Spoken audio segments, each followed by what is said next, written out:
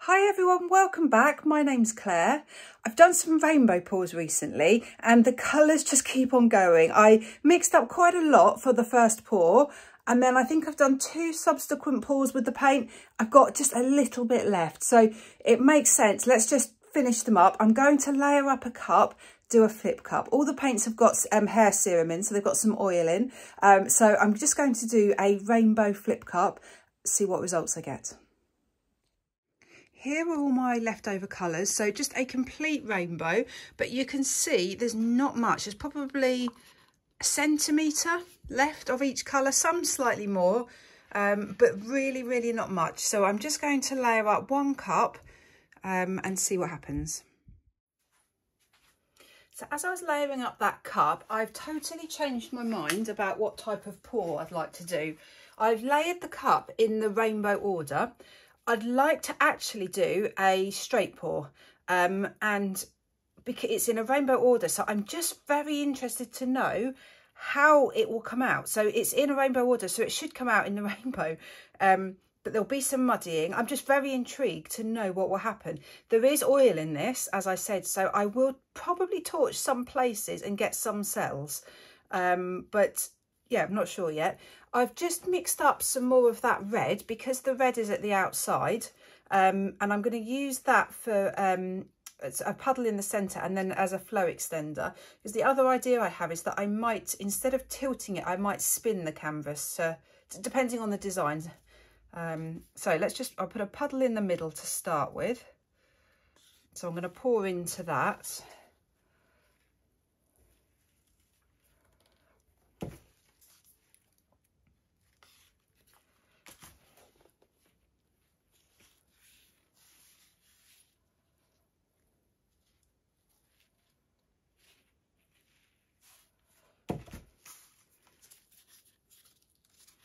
And I think I might actually just put this down now as a flow extender around the edge.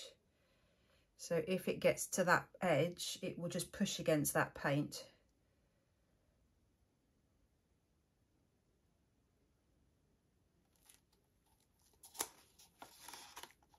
And the reason I'm doing that is because I kind of want all the colours to remain. So the last colours that went into the cup, which are the reds, oranges and yellows, will be um, first out. So what will happen is they will get pushed to the edge and if the canvas is dry, they will just roll over. So you'll actually totally lose those colours or they get pushed off the edge. So if I've got more red here to start with, I'm hoping that that won't happen.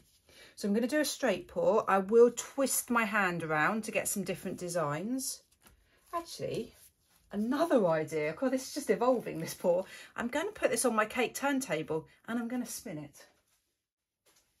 So I've put the canvas now on cake turntable and um, a hard board with a piece of paper over to catch all the drips. So straight pour, so I will twist my hand around as I go.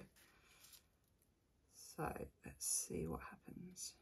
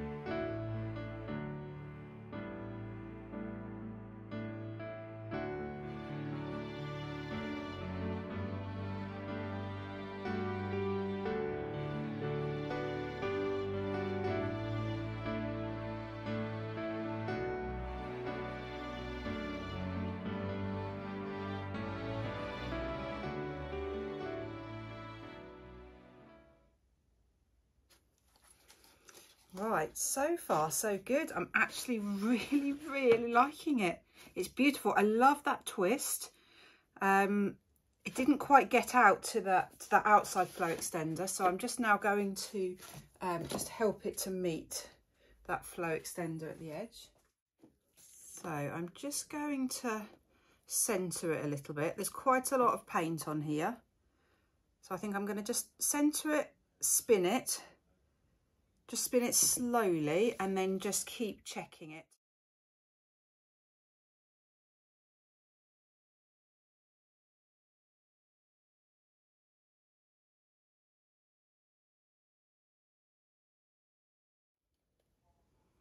fact, I'm changed my mind. I think I am just going to stretch it because it's a round canvas.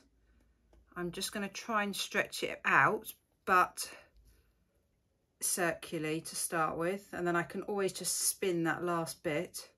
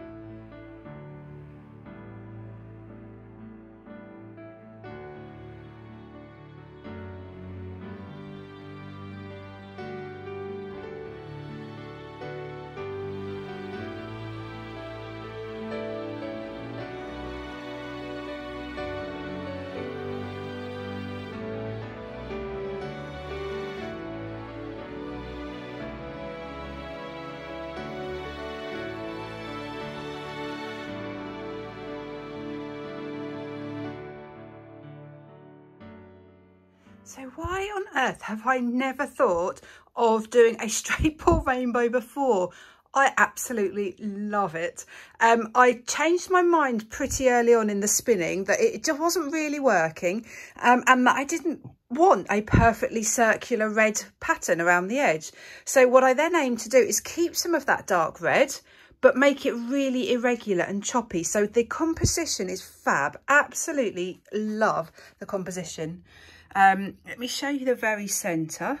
So because it was a spiral, you haven't got a straight line of that pale pink. You've got a, a sort of rounded line.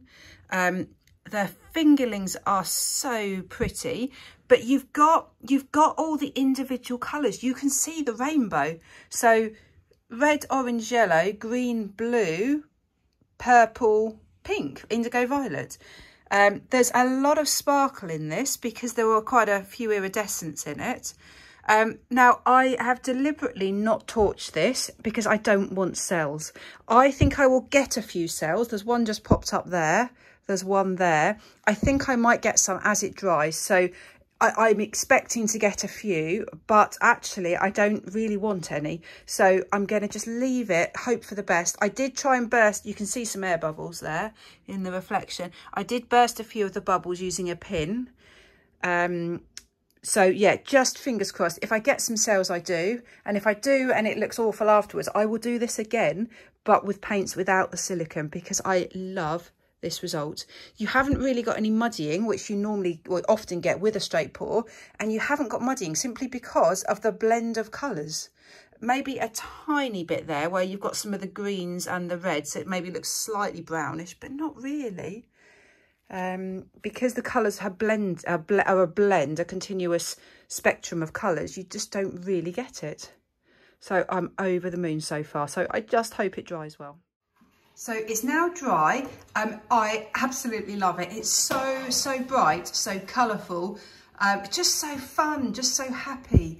Um, I love the composition. I love having the colour going off over the sides here um, in different places, but different amounts in different places. I love having these little red bits showing. Um, so happy it's not just one round circle of red around the edge. Um, I think that would look boring actually. I think it's just quite a cheeky painting. It's quite fun having just those little red bits showing. Um, let me show you the details. Um, so it just, the rainbow just flows beautifully. The colours just blend absolutely beautifully. And you've got that really bright section there with the green and the yellow. Um, beautiful, beautiful lines just so happy with it. I can't believe I've never done this before, straight poured a rainbow. Um, I think I might try it again, but do a ring pour.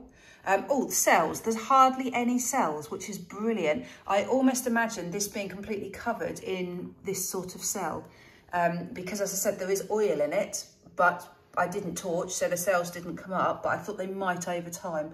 There are quite a few little um, pits in it, which is where the air bubbles were. So unfortunately, it was either little pits or the cells. Um, and I, have definitely chose the right one because, yeah, really happy with it. What I just a happy painting. Um, do you agree? You might not agree. Let me know. Leave me any comments you have, any thoughts you have. I'd love to hear what other people think of this piece. Great, thank you so much for watching. Please do hit the thumbs up button if you like it. Um, do subscribe to my channel. Take care, everyone. Bye.